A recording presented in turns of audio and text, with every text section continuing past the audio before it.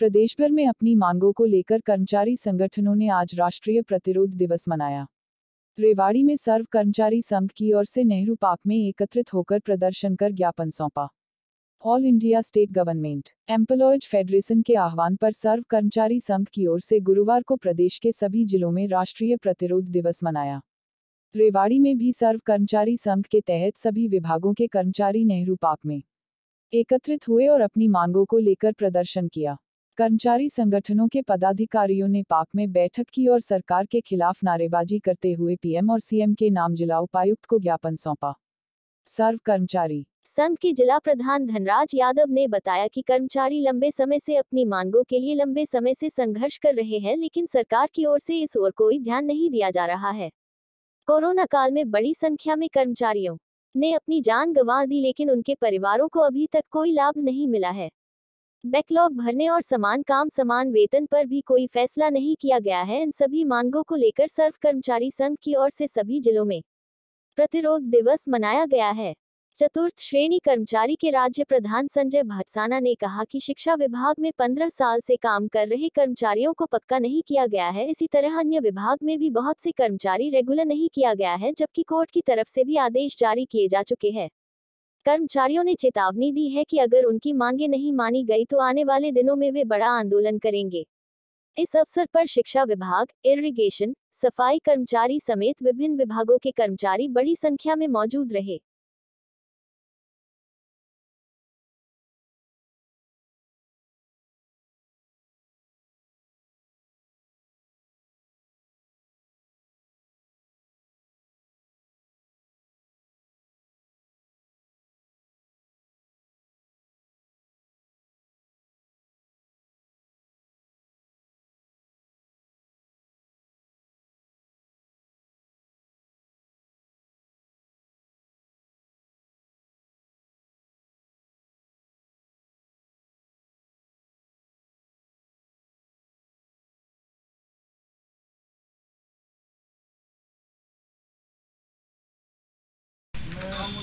मेरा नाम धनराज है और मैं सर्व कर्मचारी संघ का जिला प्रधान हूँ।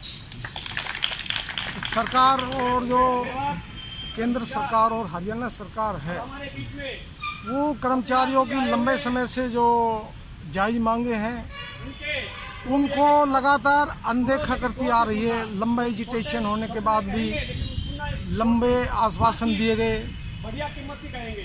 तो ये कर्मचारी जमात ने एक बड़ा फैसला लिया कि हम केंद्र और राज्य सरकार को जगाने के लिए हम 15 जुलाई को पूरे देश और प्रदेश में एक प्रतिरोध दिवस मनाएँगे।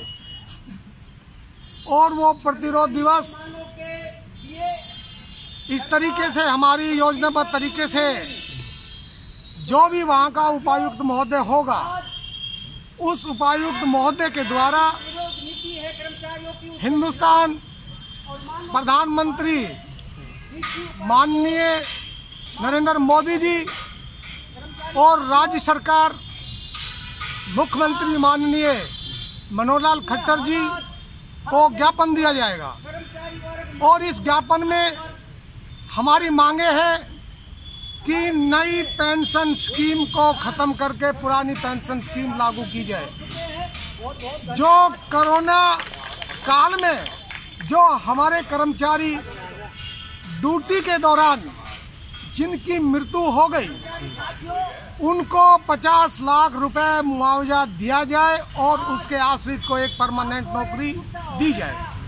50 लाख रुपए हम इसलिए बोल रहे हैं कि सरकार ने मौत में भी फ़र्क कर दिया है कि अगर कर्मचारी की मृत्यु होती है तो उसको पंद्रह बीस लाख रुपए दिया जाता है। और ऑफिसर की मृत्यु होती है तो उसको पचास लाख रुपए दिया जाता है। हम ये कहते हैं कि मौत किसी को कहते नहीं आती, मौत में कोई डिफरेंस नहीं होता। मौत तो मौत ही है, चाहे वो अफसर हो, चाहे वो अधिकारी हो, चाहे कर्मचारी हो। तो ये पचास लाख निश्चित किए जाए।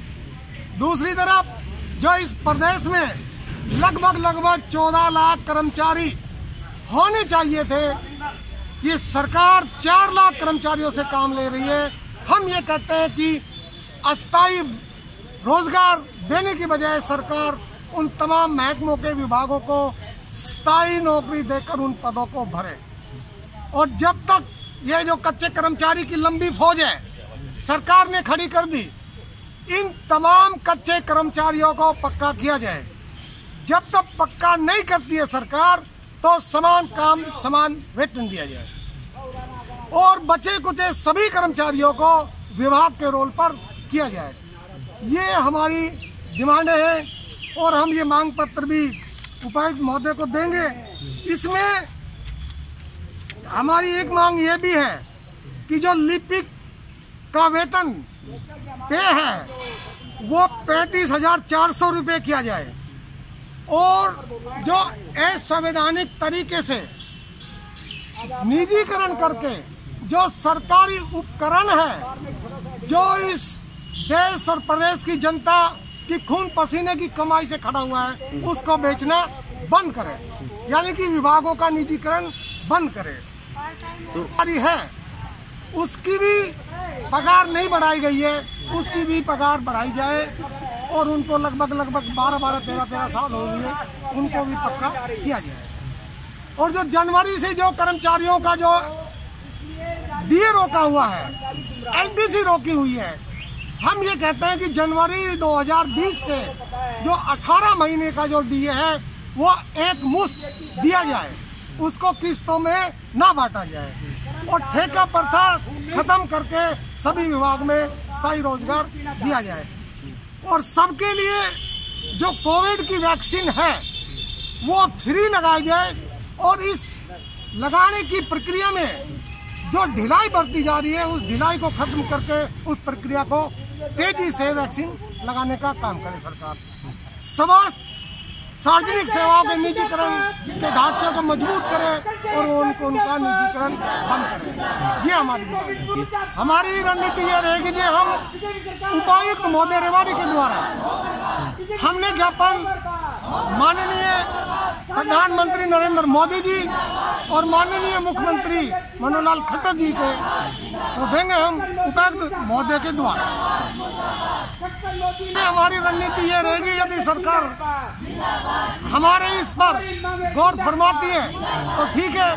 नहीं तो हमारी केंद्रीय कमेटी की रोहतक में मीटिंग होगी और All India Federation of India की भी मीटिंग होगी। जैसी वहाँ से कॉल आएगी, उस कॉल के हिसाब से दूसरे एजुकेशन की तैयारी भी करने में हम कोई चूक नहीं करेंगे। भटसाना, हरियाणा राज्य चतुर्थ श्रेणी कर्मचारी राज्य प्रधान व जिला प्रधान। सर, हमारे शिक्षा विभाग में पार्ट टाइम कर्मचारी लगे हुए हैं। उनको पंद्रह पंद्रह, बीस बीस साल हो गए, उनको रेगुलर नहीं किया गया अब तक। और नई पॉलिसी नहीं बनाई गई है। हाई कोर्ट ने आदेश कर दिए हैं अब इन कर्मचारियों को रेगुलर किया जाए। दो साल की पॉलिसी बनाकर। लेकिन सरकार ने नहीं सुना। इस जो आज के आंदोलन सड़कों की संख्या है, उसमें पार्ट टाइम कर्मचारी शिक्षा विभाग के बहुत ज़्यादा भारी तादाद में पूरे हरियाणा में आज उनका समर्थन कर रहे हैं। अपनी मांगों करवा रहे हैं कि कच्चे कर्मचारी शिक्षा विभाग में लगे पार्ट टाइम पक्का किया जाए। बार बार हाई कोर्ट ने इनका वो नोटिस भी निकाल दिया है सभी जिला शिक्षा अधिकारियों का लेकिन रेगुलर नहीं किया जाए। हम मांग करते हैं कि शिक्षा विभाग में पार्ट टाइम कर्मचारी को रेगुलर किया जाए। धन्यवाद। हाँ जी ज्ञापन दे रहे हैं डीसी को मुख्यमंत्री के नाम और पीएम के मोदी के नाम। तो आगे की रू- रूल करने नीति बनाकर हम धरना प्रदर्शन करेंगे। हुए हाँ जी। सभी।